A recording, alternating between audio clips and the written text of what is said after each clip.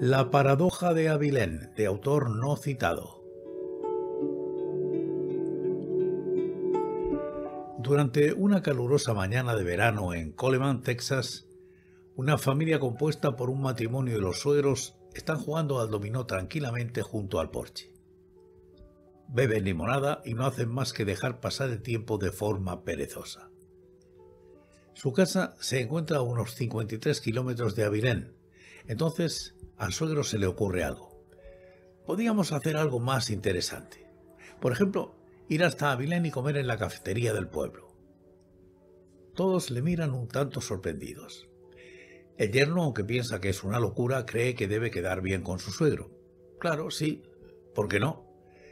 Entonces su mujer, por no llevar la contraria, añade, Buena idea, cariño y por supuesto la madre, al ver que todos quieren ir, deciden no ser la nota discordante para no romper la armonía del grupo. Iremos. Así que toda la familia se sube al coche que no tiene aire acondicionado y conduce hasta Avilén a pesar del agobiante calor. Recorren largos y polvorientos caminos y llegan acalorados al pueblo.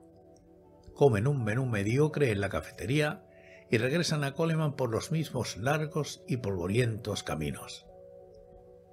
Al llegar, todos se retiraron extenuados y acalorados, sin decir nada, pensando en por qué habían hecho ese ridículo viaje que no querían hacer.